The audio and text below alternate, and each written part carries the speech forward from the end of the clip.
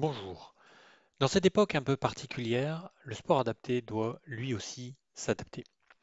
C'est la raison pour laquelle la Ligue de sport adapté des Hauts-de-France a décidé de créer cette chaîne YouTube dans laquelle vous trouverez tout ce qui vous est nécessaire pour faire de l'exercice physique ou pour aider à faire de l'exercice physique.